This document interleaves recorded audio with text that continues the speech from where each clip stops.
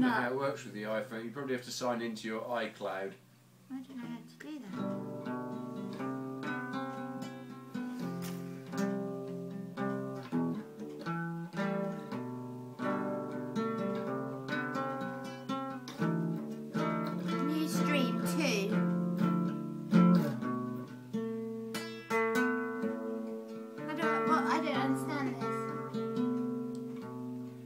Put it in your iCloud, Well, how do I then do you. that? I don't know. It says create new stream.